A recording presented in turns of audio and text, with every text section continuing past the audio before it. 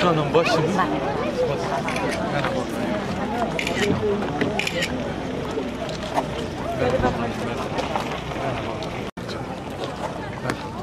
Çanın başını baş.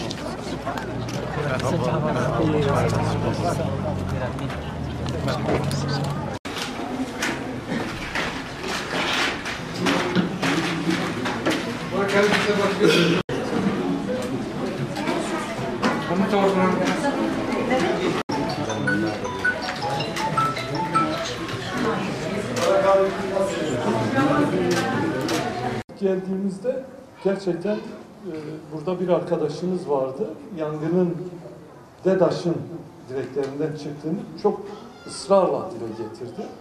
Hatta tehdit ettiler, bilmem belki gözaltına falan aldılar. Ama gerçekten bu DEDAŞ'ın bir katliamıdır. Yani elektrik parasını almasını biliyor, ürüne el koyuyor, bankadaki hesaba el koyuyor ama burada 50 yıl, 40, 60 yıl önceki işte teknikle elektrik dağıtımı yapıyor. Rantını alıyor, karını alıyor ama yatırım yapmıyor. Niye? Kürttür. Zarar da görürse Kürt görür. Çünkü bizi zaten hiçbir zaman birinci sınıf vatandaş olarak görmediler. Öyle görmeye de devam ediyorlar. Biz o zaman demiştik, gerçekten bir burası afet bölgesi olarak ilan edilmeli.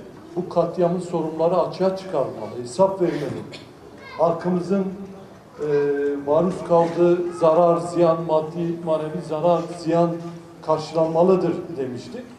E, dedik bunun arkasını bırakmayacağız. Emin olun grup toplantısı başta olmak üzere parlamentoda her konuşan milletvekilimiz burada katliama değindi.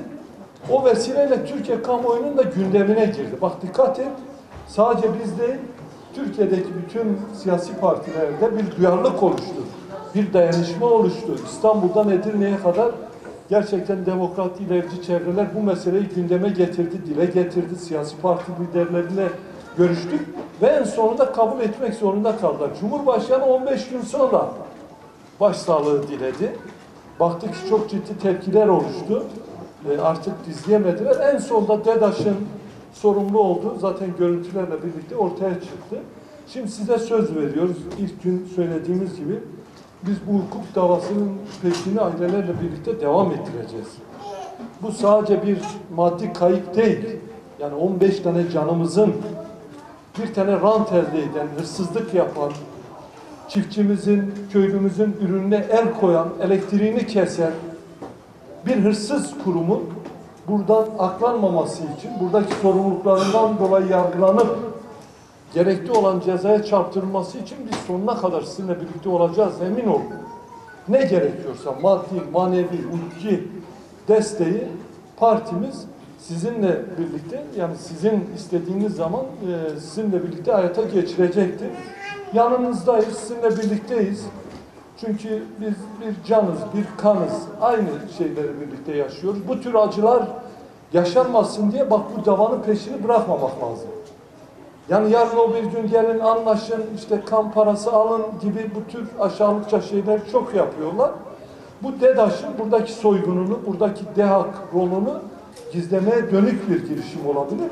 Hem maddi manevi tazminatlarımızı alacağız, hem bu katliamda sorumlu olan kimse kesinlikle cezalandırılacak. Bundan sonra da tekrar Kürt çocuklarının, çiftçilerinin, insanlarımızın bu ve benzeri durumlarda yaşamını yitirmemesi için bu davanın peşini bırakmamak gerekiyor. Biz sizin yanınızdayız, emin olun her yerde, her zaman. Siz ne zaman çağırsanız biz belediyelerimizle, milletvekillerimizle birlikte sizinle birlikte olacağız. Bunları söylemek için geldim.